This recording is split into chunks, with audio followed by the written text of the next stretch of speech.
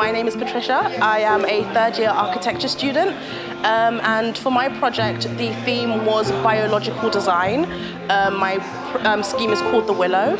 Um, it's designed based on a willow tree and it takes precedent from um, tree-like structures and a, ph a, phenomenon called inosculation. On the site in December last year, um, two ancient willow trees were cut down and um, it caused a lot of public outrage. So I thought, how do I pay homage to that that also um, works in with the biological theme? So this is a 1 to 500 model of the site.